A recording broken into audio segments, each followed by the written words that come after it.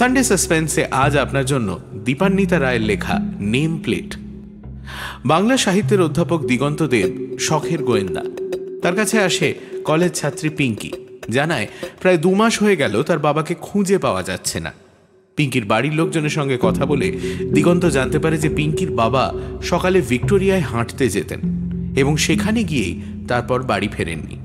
দিগন্ত ঠিক করে সে ভিক্টোরিয়ায় যাবে সকালে। তারপর ভোরবেলা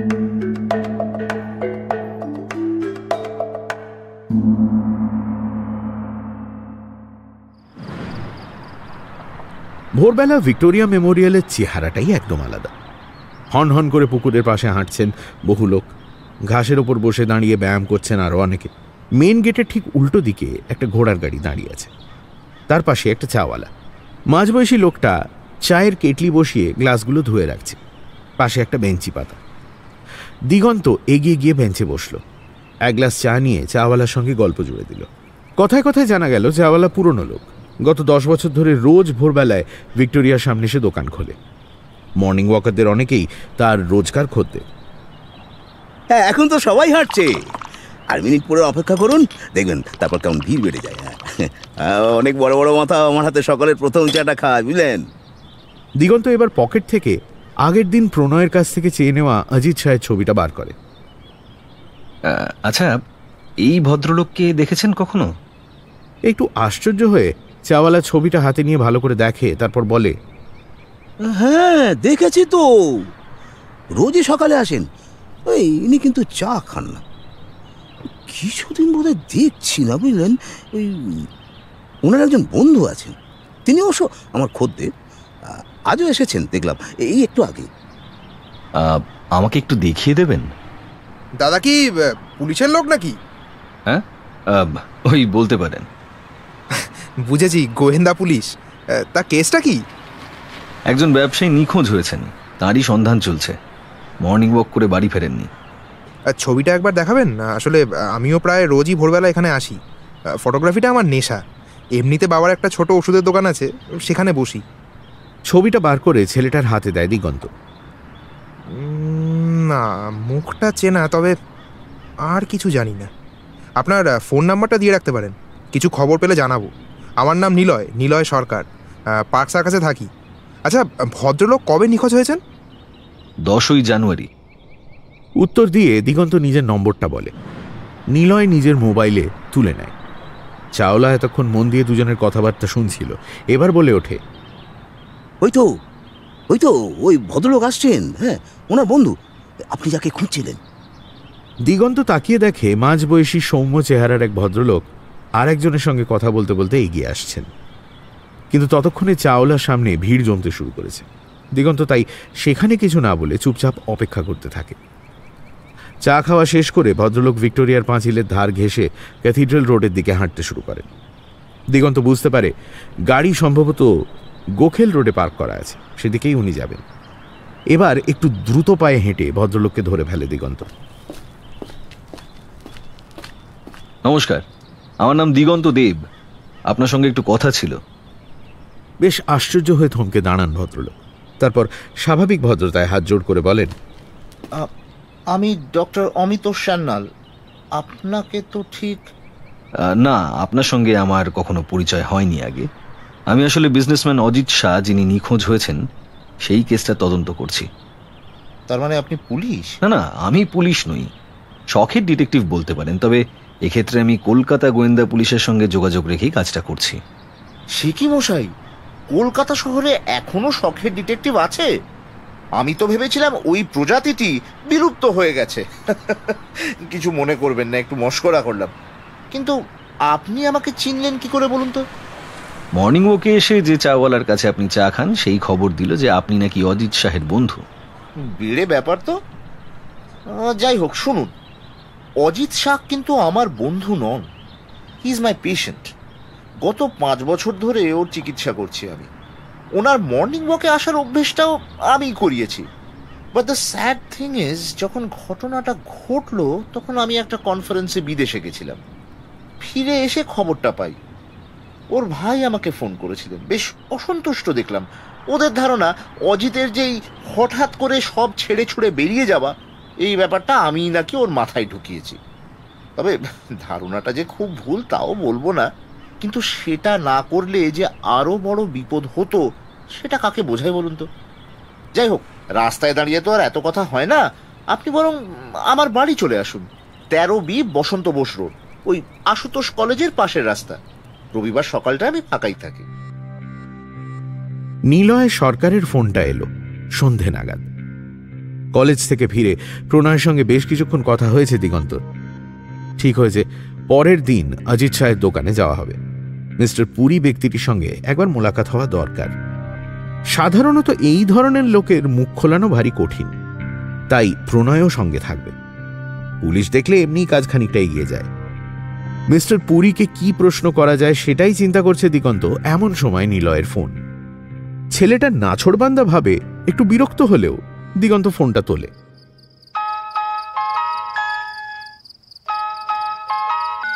হ্যাঁ কি ব্যাপার? আপনার বাড়িতে একবার যেতে পারি? একটা জিনিস দেখাতাম। কি বলুন তো? একটা ছবি আপনাকে বলেছিলাম না? আমি প্রায় রোজই ভোরবেলা ভিক্টোরিয়ায় যাই। দশই জানুয়ারিও গেছিলাম। আমার ল্যাপটপে তারিখ দিয়ে ছবিগুলো সাজানো থাকে। তা আপনার কথা শুনে সেদিনের ছবিগুলো দেখতে দেখতে একটা জিনিস চোখে পড়ল। তাই ভাবলাম আপনাকে জানাই, আপনি বললে ঘন্টাখানেকের মধ্যে হাজির হতে পারি। রাজি হয়ে গেল দিগন্ত। ল্যাপটপের ব্যাগ ঘাড়ে নিয়ে নিলয় সরকার হাজির হলো একটু পরেই। ফোল্ডারটা খুলতে দিগন্ত বুঝতে পারল ছেলেটির ছবি তোলার হাত ভালোই। যে ছবিটা নিলয় দেখাতে চাইছে, সেখানে একটা ঘোড়ার গাড়ি দাঁড়িয়ে আছে। তার পাদানিতে একটা বাচ্চা ছেলে মুড়িসুড়ি দিয়ে বসে ঘুমোচ্ছে। আলো তখনও ফোটেনি। কুয়াশা আর আধো আলোয় ভারী মায়াময় বাচ্চাটার মুখ। বাচ্চাটার পিছন দিকটা একটু আউট অফ ফোকাস কিন্তু সেখানে বোঝা যাচ্ছে চার পাঁচজন লোক মিলে একটা গাড়িতে উঠছে। নিলয় বলল আমি পরপর শাটার টিপছিলাম। সাধারণত তাই করি যাতে পরে সব থেকে ভালোটা বেছে নিতে সুবিধা হয়।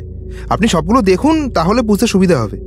ঘোড়ার গাড়ির পেছন দিকটা বেশ অস্পষ্ট তবু বোঝা গেল গাছের নিচে একটা গাড়ি দাঁড়িয়ে রয়েছে। চার পাঁচজন মিলে গাড়িটার দিকে এগোচ্ছে। মাঝখানে একটা কেউ আছে যাকে দেখা যাচ্ছে না। অন্যরা ঘিরে আছে। গাড়িতে উঠছে সবাই মিলে। এখানে মাঝের লোকটির পিঠ আর কাঁধের একটা অংশ দেখা যাচ্ছে। সাদা জামা পরা। তারপরের ছবিতে গাড়িটা নেই। নিলয় বলল আমি যদিও বেশ খানিকটা দূর থেকে ছবিটা তুলেছিলাম তবু ধাক্কা ধাক্কি বা জোর করে টেনে তোলার মতো নিশ্চয়ই কিছু ঘটেনি। তাহলে নজরে পড়তো। সবাই মিলে স্বাভাবিকভাবেই গাড়ির দিকে এগিয়েছে। তবুও ছবিটা কাজে লাগবে। থ্যাংক ইউ ভাই। এগুলো আমাকে দিতে হবে কিন্তু। আমি এক্ষুনি আপনার মেলে পাঠিয়ে দিচ্ছি। আপনার সঙ্গে আলাপ হয়ে ভালো লেগেছে। তাই নিজেই ফোন করেছিলাম। এক কাপ চা খেয়ে নিলয় সরকার বেরিয়ে যাওয়ার পর ছবিগুলো নিয়ে বসল দিগন্ত। জুম করে দেখল বেশ অনেকক্ষণ। ইতিমধ্যে পিঙ্কিকে ফোন করে জানা গেছে দশই জানুয়ারি ভোরবেলা অফ হোয়াইট রঙের ট্র্যাক স্যুট পরে মর্নিং ওয়াকে বেরিয়েছিলেন অজিত শাহ। প্রণয় এলো রাত নটা নাগাদ। দুজনে মিলে আরও বেশ কয়েকবার খুঁটিয়ে দেখল ছবিগুলো।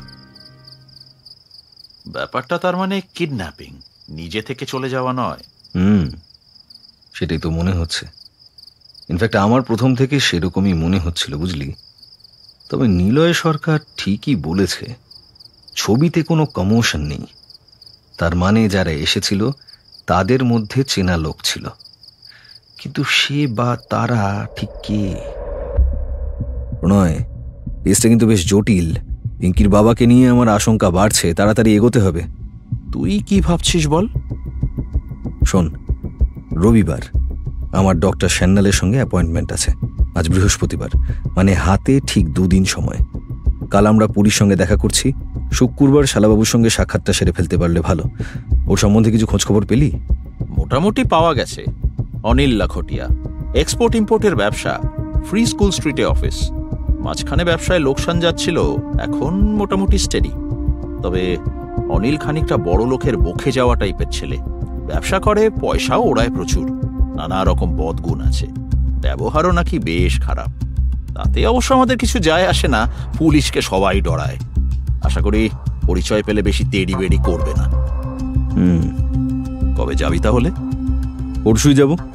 কিন্তু খবর না দিয়ে তুই খোঁজ নে কোন সময় অফিসে থাকে তখনই গিয়ে হাজির হব। নো প্রবলেম সেই রকমই ব্যবস্থা হবে। পার্ক সার্কাসে অজিত শাহের ইলেকট্রনিক গুডসের দোকানে যখন প্রণয় আর দিগন্ত গিয়ে হাজির হলো, তখন বিকেল পাঁচটা। বিশাল দোকান, ভিড়ও ভালোই। একজন কর্মচারীকে বলতে তিনি মিস্টার পুরীর ঘরের দিকে নিয়ে গেলেন। দোকানের একপাশে ম্যানেজারের একটা ছোট্ট কিউবিকল। মিস্টার পুরী মোবাইলে কারুর সঙ্গে কথা বলছিলেন। প্রণয় আর দিগন্তকে দেখে তার কপালে হালকা ভাঁজ পড়লেও হাতের ইশারায় সামনে চেয়ারে বসতে বললেন, বেশ একটু পাকানো, শুকনো ধরনের চেহারা। বয়স বোঝা কঠিন। পঞ্চাশ থেকে ষাটের মধ্যে যা কিছু হতে পারে। মুখের গড়ন খানিকটা শেয়ালের মতো। চোখে ধূর্তামির ছাপ। কথা শেষ করে ফোন নামাতেই প্রণয় নিজের কার্ডটা বাড়িয়ে দিল। কার্ডটা দেখেই সতর্ক হয়ে গেলেন মিস্টার পুরী। মুখে একটা ছাপানো অমায়িক হাসি ফুটে উঠল।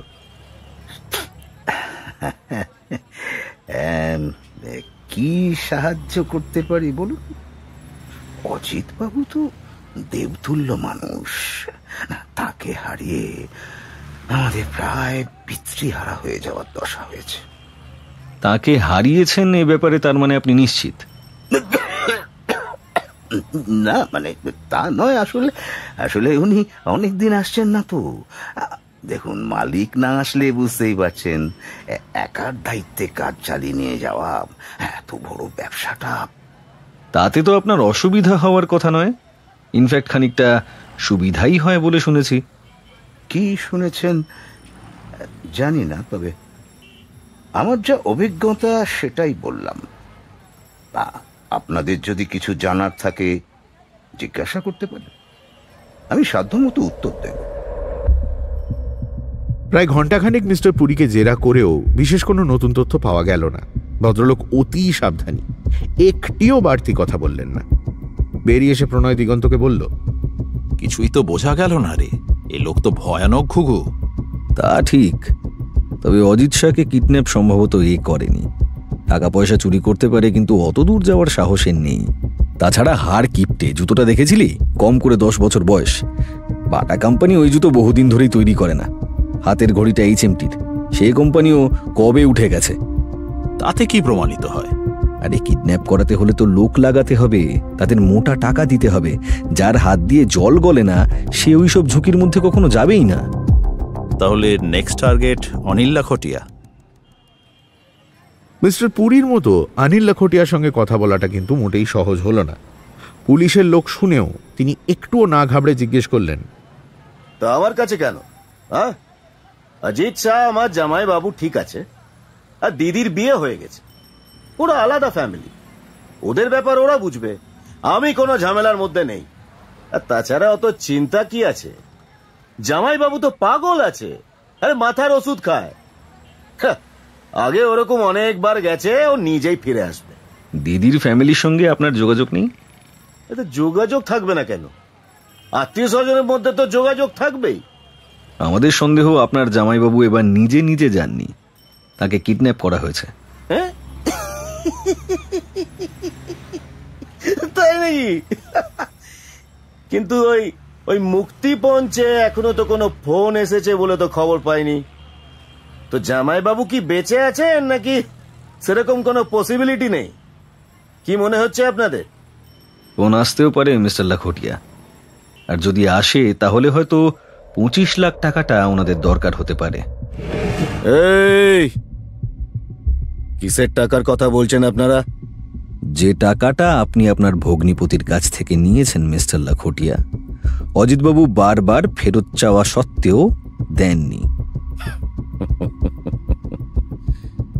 টাকাটা যে আমি নিয়েছিলাম তার কোনো প্রমাণ আছে? কোনো লেখাপড়া? কে আপনাদের বলল মিস্টার দেব যে আমি পঁচিশ লাখ টাকা নিয়েছি? আমি কারোর থেকে কোনো টাকা নিইনি। অজিতবাবু যেদিন নিখোঁজ হলেন সেদিন সকালে আপনি ওদের বাড়িতে গেছিলেন? হ্যাঁ গেছিলাম। আমার দিদি একটা গয়না সারাতে দিয়েছিল সেটা দিতে গেছিলাম। আপনি যে গয়না দিতেই গিয়েছিলেন তার কোনো প্রমাণ আছে? আমার দিদি বলবে যে আমি গয়না ফেরত দিতে গেছিলাম। আর আর গয়না সারানোর কথা যদি বলেন তাহলে তাহলে তাহলে সেই প্রমাণও আছে। কথা বলতে বলতেই অনিল লাখোটিয়া নিজের পার্স হাতড়ে একটা কাগজের টুকরো বার করেন। এই এই নে এই নে গয়না সারানোর রসিদ। ওই সেদিন ওইসব গন্ডগোলের মধ্যে দিদিকে দিতে ভুলে গেছিলাম। রশিদটা হাতে নিয়ে ভালো করে দেখে দিগন্ত। রশিদে লেখা আছে গয়নাটা আপনি দোকান থেকে নিয়েছেন তেসরা জানুয়ারি। সাত দিন পরে ফেরত দিতে গেলেন কেন? সময় পাইনি তাই। আর আমার দিদির বাড়ি আমি কবে যাব না যাব সেটা আমার ইচ্ছের উপর। আপনাদের যদি মনে হয় ভোরবেলা জামাইবাবুকে কিডন্যাপ করে এগারোটার সময় আমি দিদির গয়না ফেরত দেওয়ার অজুহাতে ও বাড়ি গেছিলাম। তাহলে তো বলতেই হবে আপনাদের ওই পাওয়ার অফ ইমাজিনেশন খুব ভালো। জাগে আপনাদের কি আর কোনো প্রশ্ন আছে?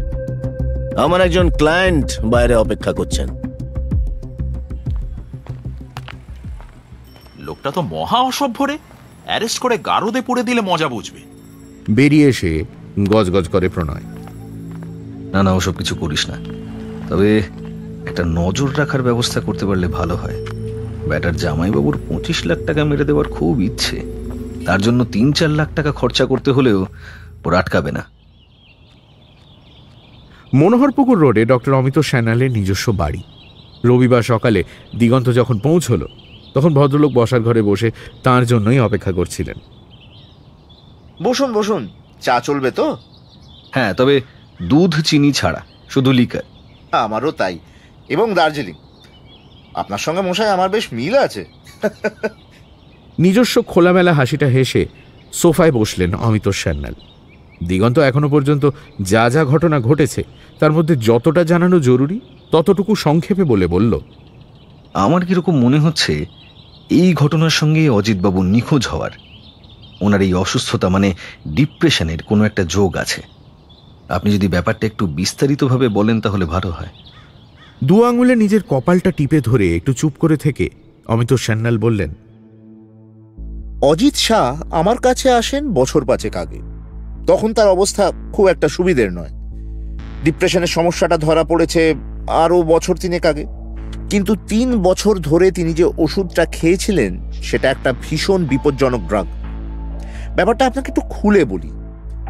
মানুষের মনের গতিবিধি খুব জটিল। তাই তার চিকিৎসা করাটাও খুব সূক্ষ্ম ভাবনা চিন্তার উপর নির্ভর করে। যিনি চিকিৎসা করছেন, তাকে রোগীর মনের গতিবিধি খুব ভালো করে বুঝতে হবে।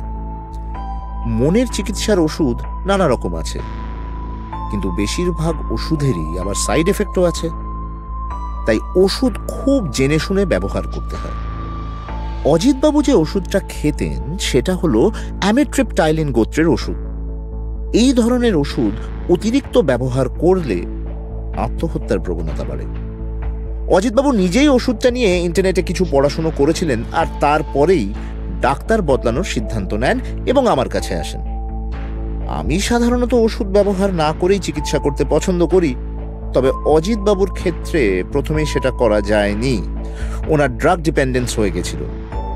তাই প্রথমেই অ্যামিট্রিপটাইলিন বদলে দিয়ে অন্য ওষুধ দিই। পাশাপাশি অন্যরকম চিকিৎসাও চালু করি। অনেকেরই হয়তো জানা নেই যে ডিপ্রেশন কাটাতে ব্যায়াম খুব জরুরি। ওনাকে মর্নিং ওয়াকে আমি অভ্যেস করিয়েছিলাম। ইনফ্যাক্ট আমি নিজে আগে রবীন্দ্র সরোবরে হাঁটতে যেতাম। অজিত বাবুকে সঙ্গ দেওয়ার জন্যই ভিক্টোরিয়ায় যেতে শুরু করি। পুষ্টিকর খাবার, বিশেষ করে ওমেগা থ্রি আর ফ্যাটি অ্যাসিড যুক্ত খাবার ডিপ্রেশন সারাতে সাহায্য করে। ওনাকে আমি সেই মতো ডায়েট চার্ট করে দিয়েছিলাম। আর ওই যে হুট করে বাইরে চলে যাওয়া, এটাও আমারই সাজেশন ছিল। ডিপ্রেশনের অ্যাট্যাক যখন হতে পারে মনে হচ্ছে, তখন খোলা মেলা পলিউশন ফ্রি জায়গায়, যেখানে প্রচুর সূর্যের আলো আছে, সেরকম জায়গায় চলে গেলে মুড চেঞ্জ করা যায়। অজিতবাবুকে আমিই বলেছিলাম যখনই ওরকম মনে হবে তখনই বেরিয়ে যাবেন। একটু স্বার্থপরের মতোই নিজেকে বাঁচানোর জন্য বাড়ির লোকেদের কথা ব্যবসার কথা তখন ভাববেন না। এটাতে কাজও হয়েছিল খুব ভালো। উনি অনেকটাই সুস্থ হয়ে উঠেছিলেন। ভদ্রলোক বেশ ভালো জানেন তো? অনেক ব্যাপারে ইন্টারেস্ট আছে। আমার সঙ্গে বেশ বন্ধুত্ব হয়ে গেছিল। উনি আগে কাকে দেখাতেন সেই ডাক্তারের নাম জানা আছে আপনার? না তা মনে নেই। তবে ওনার পুরো হিস্ট্রি আমার ডেস্কটপে আছে। সেখানে পুরনো প্রেসক্রিপশনের স্ক্যান কপি থাকবে। সেখান থেকে আপনাকে বের করে দিতে পারি। অজিত শাহের কেস হিস্ট্রি থেকে জানা গেল, ডক্টর অমিত সান্যালের আগে তিনি যে সাইকায়াট্রিস্টকে দেখাতেন তার নাম প্রকাশ মেহরা, চেম্বার যোধপুর পার্ক। প্রেসক্রিপশনে দেওয়া ফোন নম্বর দেখে পরদিনই সন্ধ্যাবেলায় ডক্টর মেহরার একটা অ্যাপয়েন্টমেন্ট নিল দিগন্ত। ইতিমধ্যে এদিকে একটা ঘটনা ঘটেছে। ডিঙ্কি ফোন করে দিগন্তকে জানিয়েছে যে তার মামা একদিন তার বাড়িতে এসেছিলেন। দরজা বন্ধ করে মায়ের সঙ্গে বেশ কিছুক্ষণ কথাবার্তা বলেন। মামা চলে যাওয়ার পর মা নাকি কান্নাকাটি করছিলেন। আর কাকা ইতিমধ্যে বার তিনেক থানায় গিয়ে খোঁজ খবর নিয়ে বাড়িতে জানিয়েছেন যে পুলিশ তাদের বাবার কোনো খোঁজ পায়নি। পুলিশ তেমন গা লাগাচ্ছে না, টাকা পয়সা ঘুষ না দিলে কাজ এগোবে না, এসব কথাও বাড়িতে আলোচনা হয়েছে।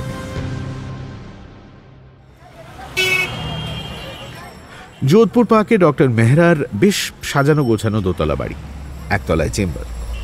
বাড়িতে সম্ভবত রং করার কাজ চলছে, বাইরে ভাড়া বাঁধা। দিগন্ত ট্যাক্সি থেকে নেমে ভাড়া দিতে দিতে দেখল বাড়ির সামনে একটা ইলেকট্রিক ব্লু রঙের ওয়াগনার গাড়ি এসে থামল। লম্বাটে গড়নের একজন চশমা পরা মহিলা গাড়িটা গ্যারাজে ঢুকিয়ে ভেতরে চলে গেলেন। ডক্টর মেহরা চেম্বারেই ছিলেন। আরও জনা দুয়েক রোগী অপেক্ষা করছিল। দু নম্বরে ডাক পড়ল দিগন্তর। চেম্বারের ভেতরটাও সদ্য রং করা হয়েছে। আসবাব গোছানো হলেও সবকিছু এখনও সাজানো হয়নি। পেশেন্টের চেয়ারের একপাশে মাটিতে কতগুলো বাঁধানো ছবি, একটার উপর একটা রাখা। ডক্টর মেহরার পোশাক শৌখিন, ব্যবহার কেতাদুরস্ত। প্রায় আধ ঘণ্টা ধরে নিজের নানা মানসিক সমস্যার কথা আলোচনা করে পাঁচশো টাকা ভিজিট দিয়ে দিগন্ত যখন বাড়ি ফিরল, তখন রাত আটটা। প্রণয় এসে গেছিল আগেই। কি মনে হলো রে?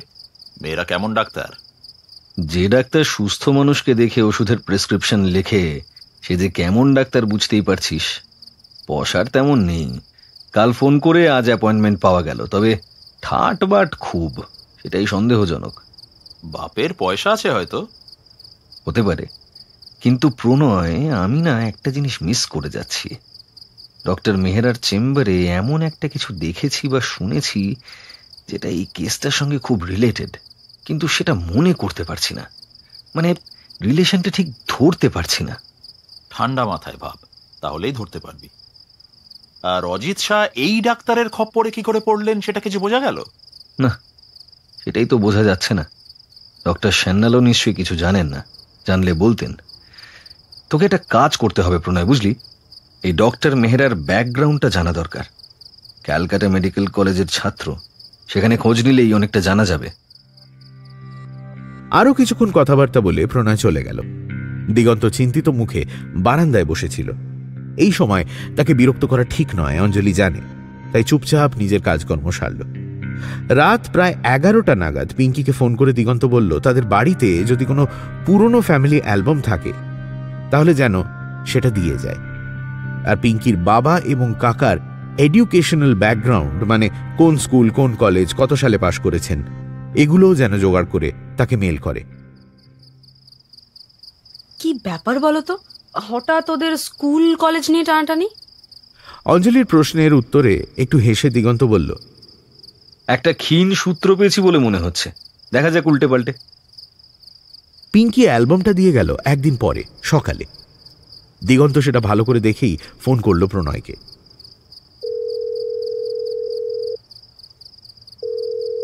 হ্যালো? ডক্টর প্রকাশ মেহরা সম্বন্ধে যে খোঁজ নিতে বলেছিলাম সেটা পেয়েছিস? না রে। মেডিকেল কলেজের ক্লার্কটা একেবারে অপদার্থ। কাল বার করে রাখবে বলেছে। তুই এক্ষুনি খোঁজ নে মেহরার কোনো নিজস্ব নার্সিং হোম আছে কিনা। খুব জরুরি কিন্তু। আধ ঘণ্টার মধ্যেই ফোন ব্যাক করল প্রণয়। না রে নার্সিং হোম নেই। ভদ্রলোক নিজের বাড়িতে চেম্বার দেখেন আর নিউল্যান্ড হসপিটালের সঙ্গে যুক্ত। সেখানেও সপ্তাহে পাঁচ দিন সকালে বসেন। না হসপিটাল নয় হসপিটাল থাকলে হবে না। তুই ভালো করে খোঁজ নিয়েছিস? একদম নিশ্চিত। পুলিশের ইনফরমেশনে গন্ডগোল হয় না। প্রণয়ের ফোনটা কেটে দিগন্ত আবার ডায়াল করে।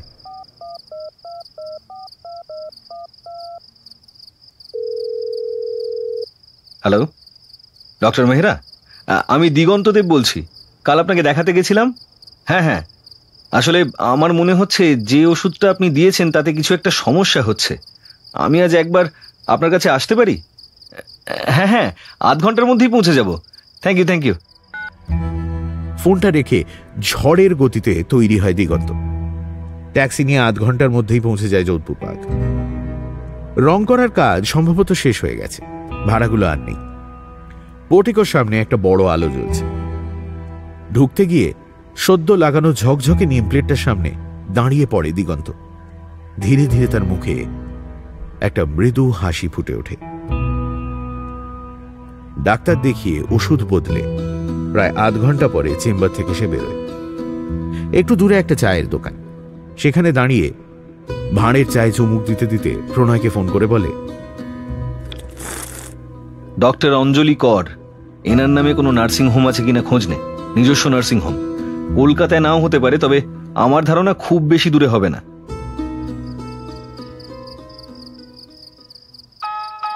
দিগন্ত বাড়ি ফিরে স্নান করে বেরোতে না বেরোতেই প্রণয়ের ফোন আসে। হ্যালো খোঁজ পাওয়া গেছে। নার্সিং হোম আছে।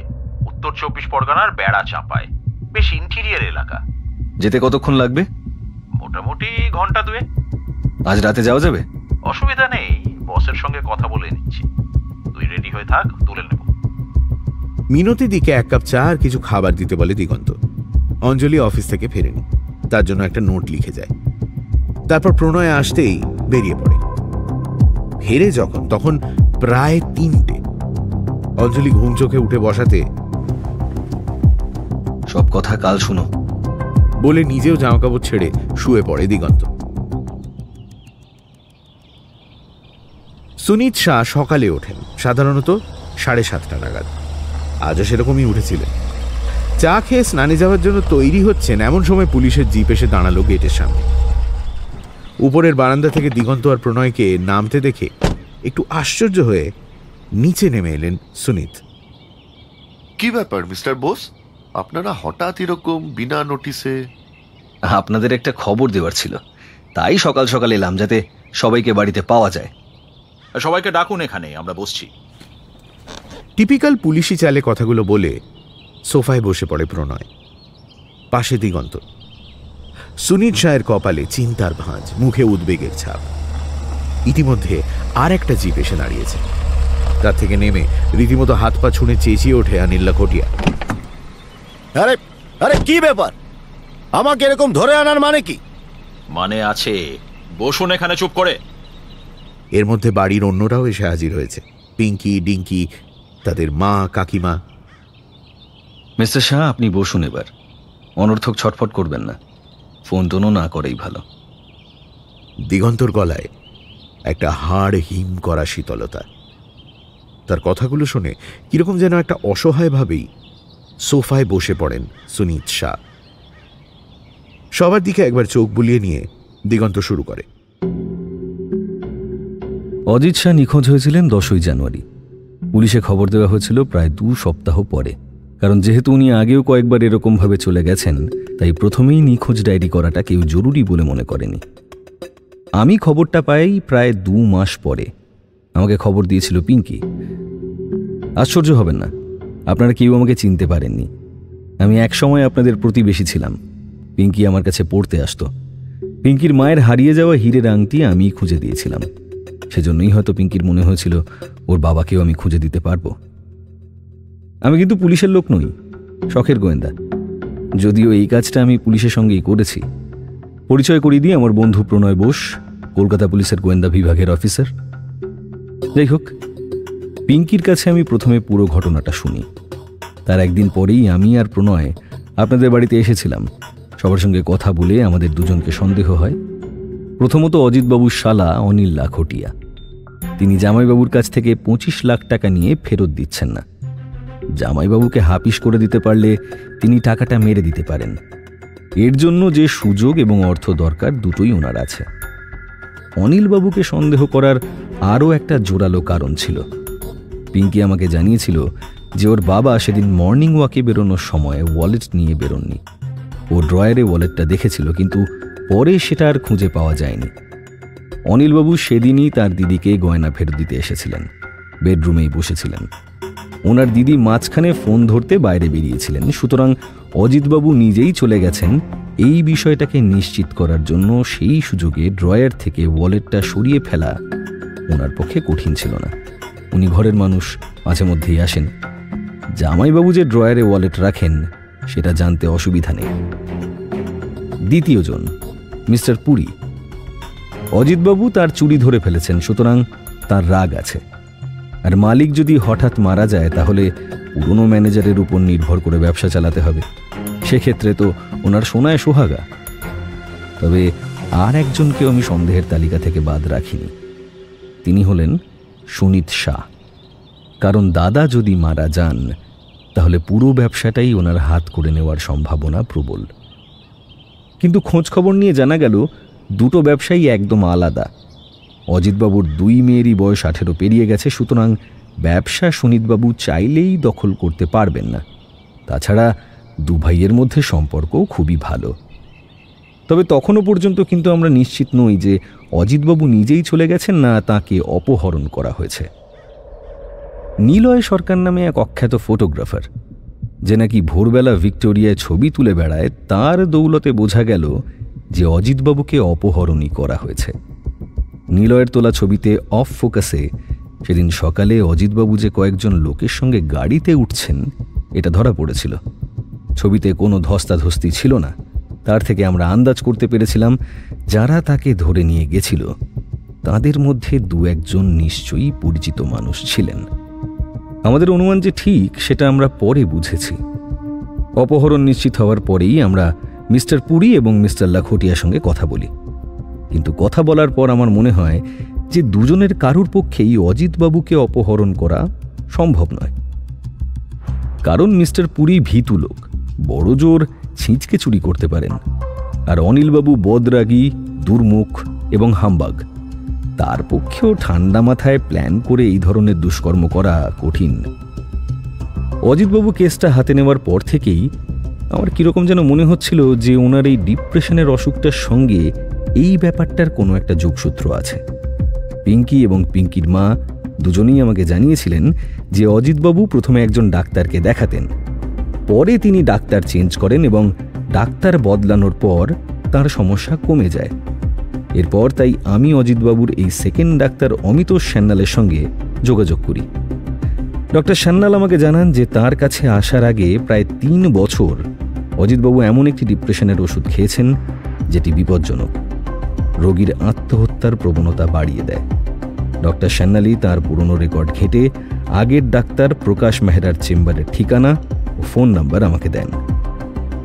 ডক্টর সান্যালের সঙ্গে কথা বলেই আমার সন্দেহ হয় যে ডক্টর মেহরা ইচ্ছাকৃতভাবেই অজিতবাবুকে ওই বিশেষ ওষুধটি দিতেন। কিন্তু কেন? রোগীকে সারিয়ে না তুলে তাকে বিপদের দিকে ঠেলে দেওয়ার পিছনে কি মোটিভ থাকতে পারে? আমি ঠিক করি রোগী সেজে ডক্টর মেহরার সঙ্গে নিজেই মোলাকাত করব। যোধপুর পার্কে মেহরার চেম্বারে যেদিন যাই, সেদিন বাড়ি রং করা হচ্ছিল। চেম্বারের ভিতরেও জিনিসপত্র অগোছালো ছিল। আমার চেয়ারের পাশে বেশ কয়েকটি বাঁধানো ছবি ডাঁই করে রাখা ছিল। তার মধ্যে একদম ওপরে যে ছবিটা ছিল, তাতে কয়েকজন অল্প বয়সী ছেলে কাঁধে হাত দিয়ে দাঁড়িয়ে আছে। ডাক্তারের সঙ্গে কথা বলার ফাঁকে আমি কয়েকবার ছবিটা দেখেছিলাম। মেহেরার সঙ্গে কথা বলে আমি বুঝেছিলাম যে ডাক্তার হিসেবে তিনি মোটেই সুবিধান নন। কারণ সুস্থ মানুষকেও ওষুধ প্রেসক্রাইব করেন, বসারও ভালো নয়, অথচ ঠাট বাট আছে। তার মানে অর্থ উপার্জনের একটা নির্দিষ্ট সোর্স আছে। সেটা কি যখন বোঝার চেষ্টা করছি, তখনই বারবার মাথার মধ্যে ওই ছবিটা ঘুরে ফিরে আসছিল। চিন্তাটাকে তাড়াতে না পেরে আমি শেষ পর্যন্ত ওটা নিয়েই ভাবতে শুরু করি এবং তখনই একটা সন্দেহ মাথার মধ্যে উঁকি দেয়। সেদিন অনেক রাতে পিঙ্কিকে ফোন করে দুটো জিনিস আনতে বলি। একটা আপনাদের পুরনো ফ্যামিলি অ্যালবাম আর আপনাদের দুই ভাইয়ের এডুকেশনাল ডিটেল মানে কোন স্কুল, কলেজ ইত্যাদি। একই সঙ্গে প্রণয়কেও বলি, ডক্টর মেহরার ডিটেলটা জোগাড় করতে। পিঙ্কি অ্যালবামটা দিয়ে যেতেই আমার কাছে ব্যাপারটা একদম পরিষ্কার হয়ে যায়। যে ছবিটা আমি দেখেছিলাম, তাতে ডক্টর মেহেরার পাশে যে ছেলেটি রয়েছে, তিনি আর কেউ নন, স্বয়ং শাহ দুজনেরই বয়স মোটামুটি আঠেরো উনিশ। তার মানে শাহ এবং ডক্টর মেহেরা বন্ধু। অর্থাৎ অজিতবাবু যখন ডিপ্রেশনের জন্য চিকিৎসা করানোর কথা ভাবলেন, তখন সুনীতবাবুই দাদাকে ডক্টর মেহেরার কথা বলেছিলেন। তাহলে কি গোটা ব্যাপারটাই দুই বন্ধুর ষড়যন্ত্র? কিন্তু কেন? প্রণয় যখন ডক্টর মেহরার ডিটেলটা নিয়ে এলো, তখন ব্যাপারটা আরও নিশ্চিত হওয়া গেল। সুনীতবাবু স্কটিশ চার্চ কলেজে কেমিস্ট্রি অনার্স নিয়ে পড়েছেন। প্রকাশ মেহরাও প্রথম বছর জয়েন্ট এন্ট্রান্সে চান্স না পেয়ে স্কটিশেই কেমিস্ট্রি অনার্সে ভর্তি হয়েছিলেন। একই ব্যাচে। সেই সময়ই দুজনের বন্ধুত্ব হয়, কিন্তু তখনও সুনীতবাবুর মোটিভ আমার কাছে পরিষ্কার হয়নি। ব্যাপারটা নিয়ে ভাবতে ভাবতে হঠাৎ বিদ্যুতের ঝলকের মতো দুটো কথা আমার মনে পড়ল। একটা পিঙ্কির। আমার বাড়িতে প্রথম দিন এসে ঘটনাটা বলার সময়ও বলেছিল যে অজিতবাবুরা দু ভাই ব্যবসাটা পেয়েছেন তাদের বাবার কাছ থেকে। পিঙ্কির পিসিদের ব্যবসায় কোনো ভাগ নেই। তখন কথাটাকে আমি বিশেষ গুরুত্ব দিইনি। দ্বিতীয় কথাটি বলেন পিঙ্কির মা। তিনি বলেছিলেন পিঙ্কির বাবা মেয়েদের ইন্ডিপেন্ডেন্ট করে মানুষ করতে চান। পার্বতী দেবী নিজের যদিও স্বামীর ইচ্ছে খুব একটা সমর্থন ছিল না। তার মতে মেয়েদের বিয়ে করে সংসার করাই ভালো। যাই হোক, এই দুটো কথা মনে পড়ে যাওয়াতেই আমার কাছে পুরো ছবিটা পরিষ্কার হয়ে যায়। অজিতবাবুর দুই মেয়ে, ছেলে নেই। সুনীতবাবুর কিন্তু এক ছেলে। পরিবারের নিয়মে পারিবারিক ব্যবসায় মেয়েদের কোনো অধিকার নেই। তাই সুনীতবাবু ধরেই নিয়েছিলেন, দুটি ব্যবসারই মালিকানা শেষ পর্যন্ত তার ছেলের মানে তার নিজের হবে। কিন্তু অজিতবাবুর মানসিকতা অন্যরকম। পরিবারের নিয়ম তিনি মানতে রাজি ছিলেন না। তিনি মেয়েদের পড়াশোনাতেও যথেষ্ট গুরুত্ব দিতেন। পিঙ্কি ডিঙ্কি কিছুটা বড় হওয়ার পরই সুনীতবাবু ব্যাপারটা আন্দাজ করেন। আমার ধারণা, দাদার সঙ্গে তার এই বিষয়ে কথাও হয়। অজিতবাবু খোলা মনের মানুষ, মেয়েদের ভবিষ্যৎ নিয়ে তিনি কি ভাবছেন, ভাইকে বলতে দ্বিধা করেননি। এরপর থেকেই সুনীতবাবু প্ল্যান করতে শুরু করেন। দাদার ডিপ্রেশনের সমস্যা দেখা দেওয়ায় ব্যাপারটা সুবিধাজনক হয়। মেহরাকে টাকা পয়সা দিয়ে দলে টেনে নেন। মেহরা অজিতবাবুকে এমন ওষুধ দিতে থাকে, যাতে রোগীর আত্মহত্যার প্রবণতা বাড়ে। লক্ষ্য ছিল দুটো। অজিতবাবু যদি আত্মহত্যা করে ফেলেন, তাহলে ল্যাটা চুকে গেল, না হলে ওষুধের প্রভাবে ধীরে ধীরে তার চিন্তা করার ক্ষমতা নষ্ট হয়ে যাবে। স্থায়ী, মানসিক রোগী হয়ে যাবেন। তখন অত্যন্ত দায়িত্বশীল অভিভাবকের ভূমিকা পালন করে পিঙ্কি আর ডিঙ্কির তাড়াতাড়ি বিয়ে দিয়ে দেবেন কাকা, আর ব্যবসার দায়িত্ব তিনি সামলাবেন। কিন্তু অজিতবাবু তো শিক্ষিত মানুষ। তার সম্ভবত সন্দেহ হয়েছিল। তিনি ডাক্তার বদলালেন, ক্রমশ সেরে উঠতে লাগলেন। এদিকে হাতে সময়ও কমে আসছে। পিঙ্কি ইকোনমিক্সে অনার্স নিয়ে পড়ছে। যে কোনো সময়ে তাকে ব্যবসার কাজে নিয়ে আসতে পারেন দাদা, তাই আর ঝুঁকি না নিয়ে সরাসরি কিডন্যাপিংয়ের পথ নিলেন সুনীত শাহ। অজিতবাবুর হুটহাট করে বাইরে চলে যাওয়ার অভ্যাসটাকে কাজে লাগিয়েছিলেন, যাতে হাতে অন্তত দিন পনেরো নিশ্চিন্ত সময় পাওয়া যায়। ব্যাপারটা বুঝে ফেলার পর আমার প্রথমেই যেটা মনে হয়েছিল সেটা হলো অজিতবাবুকে মেরে ফেলা হয়নি। কারণ কাউকে মেরে লাশ হাপিস করা কঠিন। পেশাদারি ক্রিমিনাল ছাড়া এই কাজ সহজে হয় না। ধরা পড়ার সম্ভাবনাও অনেক বেশি। তার থেকে যদি মাস ছয় কোথাও রেখে নিয়মিত কড়া ওষুধ কিংবা ইলেকট্রিক শক দিয়ে চিন্তাশক্তি বিকল করে ফিরিয়ে আনা যায়, তাহলে সাপও মরে আর লাঠিও ভাঙে না। ওই অবস্থায় অজিতবাবু বাড়িতে ফিরে এলে তার চিকিৎসার দায়িত্ব ভাইয়ের ওপরেই থাকবে মানে ডক্টর মেহরার উপর। সুতরাং চিন্তার কিছুই নেই। কিন্তু এই মাস ছয়েক তাকে এমন একটা জায়গায় রাখতে হবে, যেখানে সহজে কেউ সন্দেহ করবে না। সহজে খোঁজও পাওয়া যাবে না। এরকম ক্ষেত্রে ডাক্তারদের জন্য সব থেকে নিরাপদ জায়গা হলো নিজস্ব নার্সিংহোম অসুস্থ মানুষ দীর্ঘদিন থাকতেই পারে সেখানে, কারুর বলার কিছু নেই। কিন্তু প্রণয় খোঁজ নিয়ে আমাকে জানালো যে প্রকাশ মেহরার কোনো নিজস্ব নার্সিংহোম নেই। ততক্ষণে পুরো ছবিটা আমার কাছে এতটাই স্পষ্ট যে আমি আবার মেহরার চেম্বারে যাই। ঠিকই করে গেছিলাম যে এমন একটা অসুস্থতার ভান করব যাতে ও আমাকে নার্সিংহোমে ভর্তি হওয়ার পরামর্শ দেয়। সেক্ষেত্রে কোন নার্সিংহোমের সঙ্গে ওর ঘনিষ্ঠ যোগাযোগ, সেটা জানা যাবে। তবে সেটা অবশ্য আমাকে করতে হয়নি। মেহেরার চেম্বারে ঢোকার সময়ই আমার চোখ পড়ে নেম প্লেটের দিকে। আগের দিন বাড়ি রং করার কারণে সম্ভবত সেটা খুলে রাখা হয়েছিল। সেখানে লেখা আছে, প্রকাশ মেহরার স্ত্রী, ডক্টর অঞ্জলি কর। খোঁজ নিতেই জানা যায়, বেড়া চাপায় অঞ্জলি করের নিজস্ব নার্সিংহোম আছে। কাল রাতে সেখানে রেড করে অজিত শাহকে উদ্ধার করেছি আমরা। তিনি আপাতত ডক্টর অমিত সান্যালের তত্ত্বাবধানে রয়েছেন। মেহরা আর তার স্ত্রী দুজনকেই গ্রেফতার করা হয়েছে।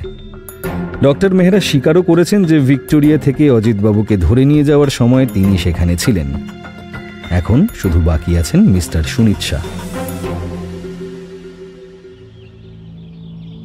প্রণয়, তুই তাহলে সেই কাজটা সেরে ফেল। পিঙ্কি, ওয়ালেটটা তোমার কাকাই নিশ্চয়ই ড্রয়ার থেকে সরিয়ে ফেলেছিলেন। আর মিস্টার লাখোটিয়া, আশা করব আপনি আপনার জামাইবাবুর টাকাটা ফেরত দিয়ে দেবেন। আজকে আমার কথাবার্তা সবই রেকর্ড করা আছে। টাকা নেওয়ার ব্যাপারটা কিন্তু আপনি অস্বীকার করেননি। পুলিশের রেকর্ড কিন্তু মারাত্মক। কয়েকদিন অসহ্য গরম পড়েছিল। বিকেলে এক প্রস্ত কালবৈশাখী হয়ে ঠান্ডা হয়েছে চারপাশটা। অঞ্জলি আর দিগন্ত বারান্দায় বসে চা খাচ্ছিল। এমন সময় বেল বাজে। মিনতিদি দরজা খুললেও অচেনা গলা শুনে উঠে যায় অঞ্জলি। পিঙ্কি ডিঙ্কি? আর তাদের মা। তাড়াতাড়ি বসার জন্য তিনজনকে এনে বসালো অঞ্জলি। দিগন্ত উঠে এলো। পিঙ্কি বলল বাবা বাড়ি ফিরে এসেছে আঙ্কেল। কাল থেকে দোকানে যাবে। মা তাই আজ কালীঘাটে পুজো দিয়ে আপনার সঙ্গে দেখা করে যাবে বলল। আপনাকে যে আমি কি বলে ধন্যবাদ দেব আমি জানি না। আমি বয়সে বড়। ভগবানের কাছে কামনা করি। আপনি যেন এরকম ভাবেই অনেক মানুষকে বিপদের হাত থেকে বাঁচাতে পারেন। আমার কিন্তু আপনার কাছে একটা জিনিস চাওয়ার আছে। আর নিশ্চয়ই বলুন না। পিঙ্কি আর ডিঙ্কি মাস্টার্স করবে এম করবে বাবার ব্যবসা চালাবে। আপনি ওদের জোর করে বিয়ে দেবেন না। কখনো দেব না। আমি কথা দিচ্ছি আপনাকে। আরও কিছুক্ষণ কথাবার্তা বলে বিদায় নিল পিঙ্কিরা। যাওয়ার আগে দিগন্তর হাতে একটা খাম দিয়ে পিঙ্কি বলল আঙ্কেল বাবা এটা আপনাকে দিতে বলেছে।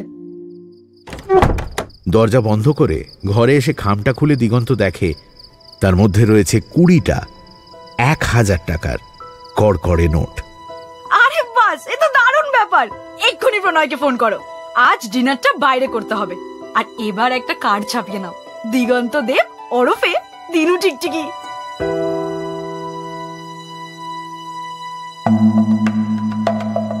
সানডে সাসপেন্সে আজ শুনলেন দীপান্বিতা রায়ের লেখা নেম প্লেট দিগন্ত দেবের চরিত্রে দীপ বসু, প্রণয় ইন্দ্রনীল ভাদুরী, সুনীত শাহ, দেবাঞ্জন মিত্র, পার্বতী শাহ, তমালি চৌধুরী, মিস্টার পুরী এবং চাওলার চরিত্রে শঙ্করী প্রসাদ মিত্র, অনিল লখোটিয়া, অংশুমান পাল, অঞ্জলি, রিয়া, পিঙ্কি, মোহর, নিলয় অরিজিৎ ডক্টর অমিত সান্যাল, পুষ্পল।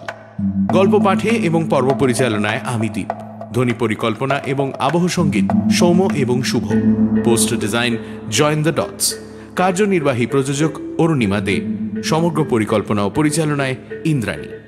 শেষ হল দীপান্বিতা রায়ের গল্প নেম প্লেট সামনের সপ্তাহে আরও একটি রোমাঞ্চকর গল্প নিয়ে ফিরে আসবে সানডে, সাসপেন্স।